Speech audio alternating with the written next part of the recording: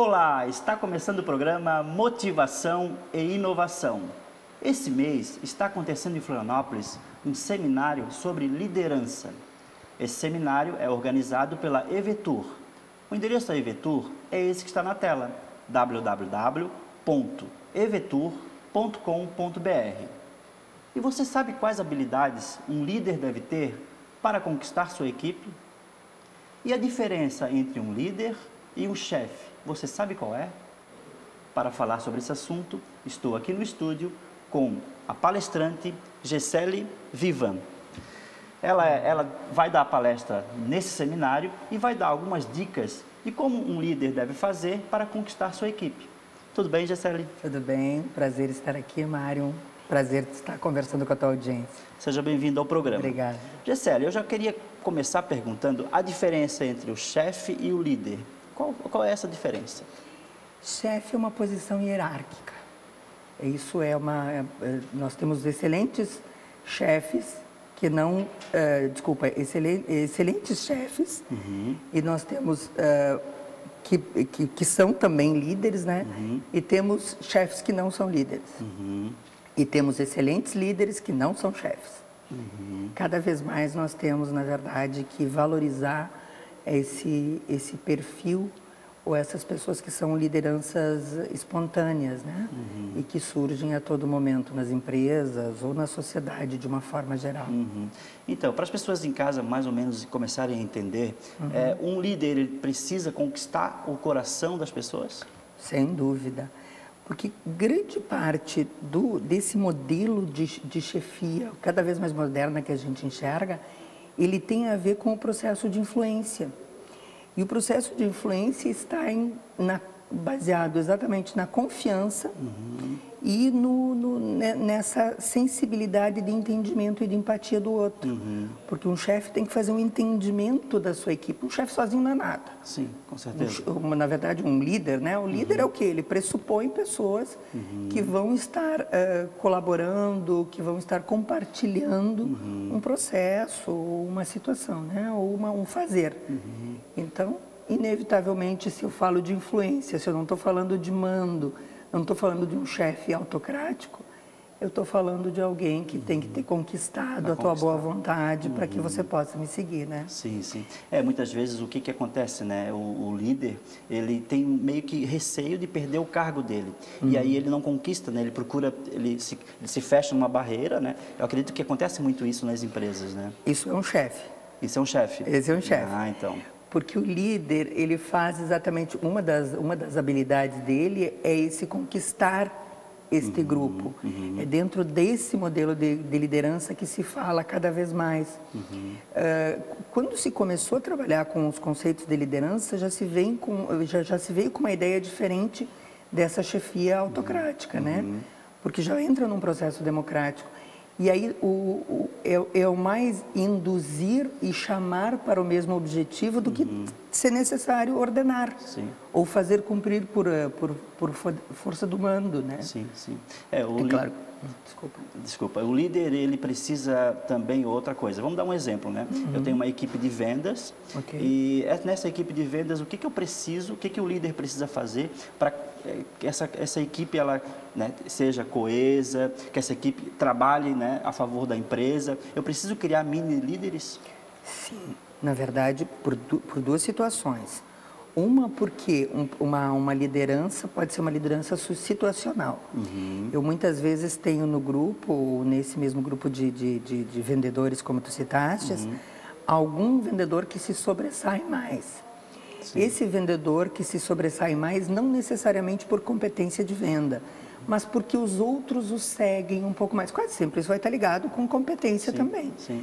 Mas porque os outros o seguem um pouco mais. Uhum. Então, de alguma forma, eu tenho que fazer com que este seja uma liderança positiva uhum. para que ele possa influenciar os demais. Uhum. E o chefe, o líder, ou que está na posição de chefia, porque também não dá para a gente brigar com o chefe líder, né? Sim. O, o, ideal é que nós tenhamos chefes que sejam líderes. Exatamente. Então, esse nosso chefe líder, né? Essa, essa, essa, liderança empreendedora que a gente está falando, em primeiro lugar, ele tem que ter uma habilidade de motivação. Uhum. Ele tem que conseguir tirar o melhor do, da, da, sua equipe, uhum. fazer com que as pessoas deem o melhor de si. Uhum. Então, para isso, ele tem que entender de gente. Uhum. Na verdade, cada vez mais todos nós temos que entender com certeza, gente, né? Com certeza. Mas um líder, a grande habilidade desse líder que nós falamos hoje é o entendimento de gente. Ele uhum. se dizia muito do Jack Welch, que ficou muito tempo na frente da, à frente da GM, uhum. que a grande habilidade dele era essa capacidade que ele tinha, não é uma capacidade técnica, porque todos os, uh, todos os chefes têm que ter uma capacidade sim, técnica. Sim mas a grande habilidade dele era essa capacidade de tirar de cada um o que ele tinha de melhor para dar. Uhum. Isso o líder tem que fazer, Sim. né? Muitas vezes as pessoas elas correm, né, dessa coisa de ah, eu não quero virar líder, eu não quero chefiar ninguém, né? Vamos dizer, uhum. o chefe é o líder. E como nasce um líder? Como é que a gente descobre esse líder? Ele, ele se sobressai quando porque tem características que tu desenvolve, uhum. né, da liderança. Você pode trabalhar nesse Sim. sentido mas uh, os, os, líderes espontâneos eles vão surgindo e qualquer um que olhar bem já vai conseguir identificar ele, porque os outros vão atrás do que ele diz, mesmo Sim. que ele não esteja nessa posição de mando. Verdade. Então ele vai naturalmente. A gente teve esses movimentos sociais que se, se espalharam pelo país todo, rec uhum. todo recentemente.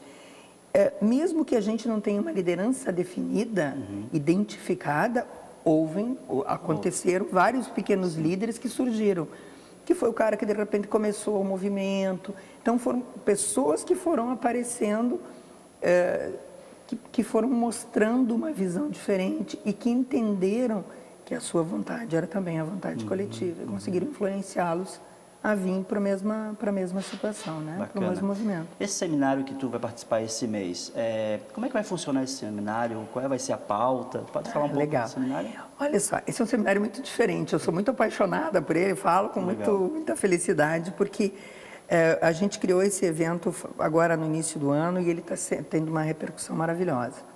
A gente chamou de seminário show. Hum.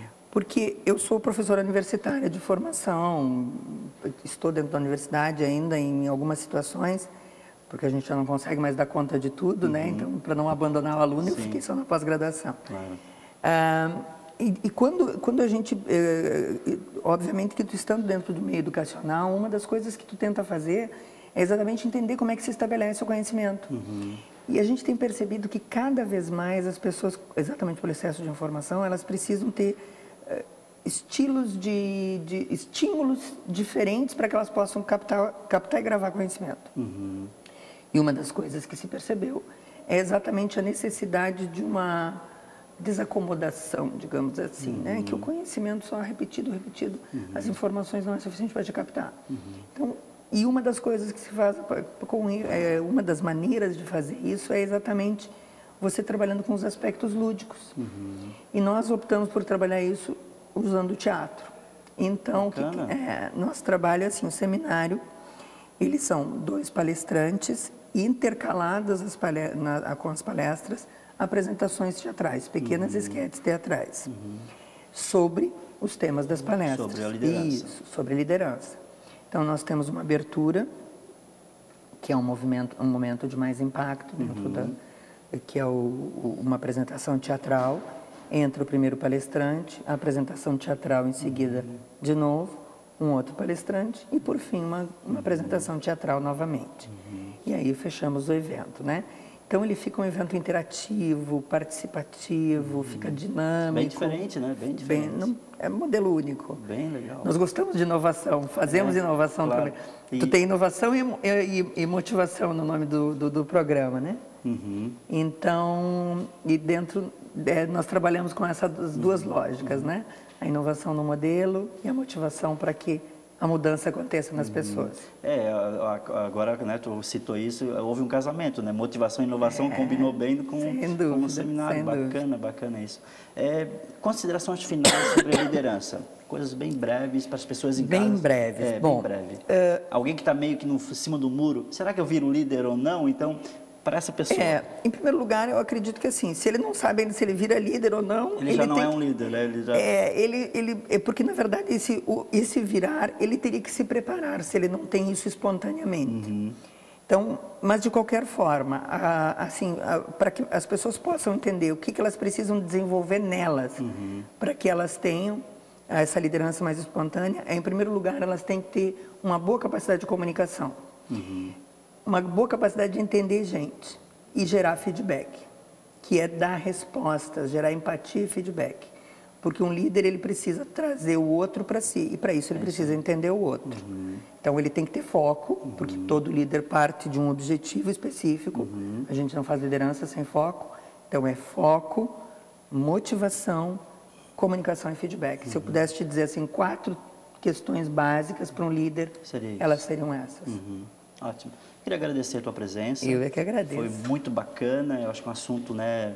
É, acho que todos Sempre gostam de saber sobre liderança. Claro. Eu, eu, gosto muito, então achei muito bacana. Obrigado. Eu é que agradeço. Vou te convidar outras vezes. Muito bem, obrigado. Outros assuntos. Será um prazer. Estarei é. aqui, com certeza. Obrigado. Obrigado a vocês. Obrigado. Tem uma frase do Abraham Lincoln que eu gosto muito, que diz assim: A maior habilidade de um líder é desenvolver habilidades extraordinárias em pessoas comuns. O programa Motivação e Inovação vai ficando por aqui. Assista agora o vídeo motivacional da semana. Até a próxima!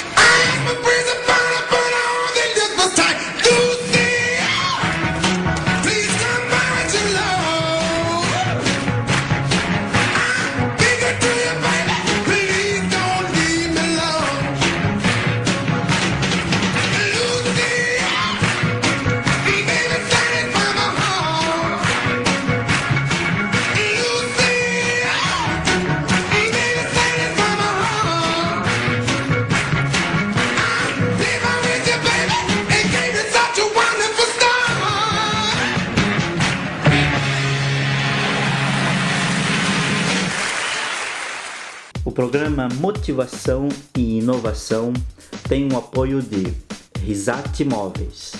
Se você está pensando em inovar a sua casa ou escritório, não pode deixar de conhecer a Risate Móveis. O endereço é esse que está na tela: www.risatemoveis.com.br e conheça o novo espaço terapêutico da cidade um lugar onde você vai relaxar o corpo, a mente e a alma.